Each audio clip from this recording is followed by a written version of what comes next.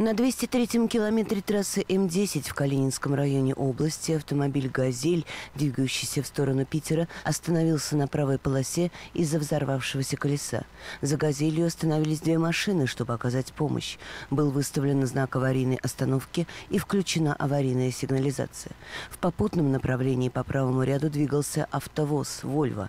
Водитель «Вольво», увидев впереди препятствие, хотел перестроиться, но по левой полосе двигался контейнер паровоз. Затормозить он тоже не успел. Автовоз наехал на остановившиеся машины, а сломанная «Газель» сбила своего же водителя. С многочисленными переломами мужчину 63-го года рождения увезли в больницу.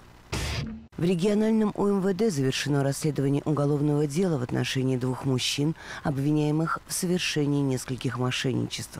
В полицию обратились жители областного центра и сообщили, что им звонят неизвестные, представляясь близкими родственниками и говорят, что якобы попали в беду.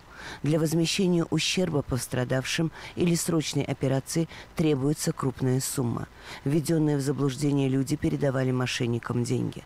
В ходе следствия установлено, что 32-летний житель Ставрополья и 23-летний житель Московской области, выступая в качестве курьеров, приезжали к обманутым пенсионерам и забирали деньги.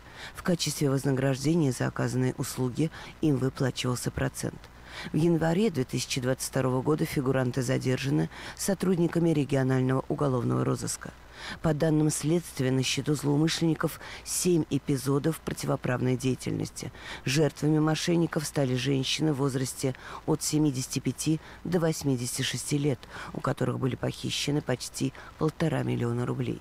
Уголовное дело с утвержденным обвинительным заключением направлено в Заволжский районный суд Твери для рассмотрения по существу.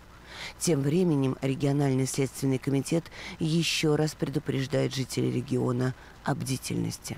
Следственное управление Следственного комитета Российской Федерации по Тверской области предупреждают об участившихся случаях обращения совершении в отношении граждан мошеннических действий со стороны лиц, которые представляются сотрудниками правоохранительных органов. В разговорах с гражданами мошенники, представляясь сотрудниками силовых ведомств, склоняют жителей региона к действиям, приводящим к утрате личных денежных средств. Такие действия квалифицируются как мошенничество. Обращаем внимание граждан. Сотрудники правоохранительных органов, уполномоченные проводить предварительное следствие, вызывают граждан повесткой.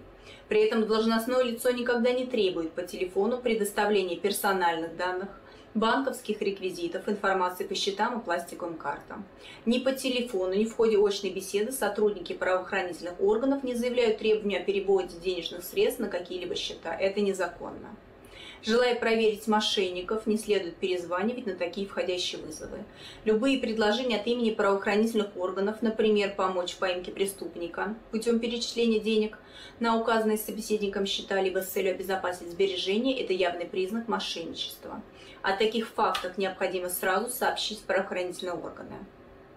При попадании в подобные ситуации, если звонящий представился сотрудниками силовых структур, необходимо позвонить по номерам телефона доверия соответствующего правоохранительного органа и проверить информацию, озвученную звонившим.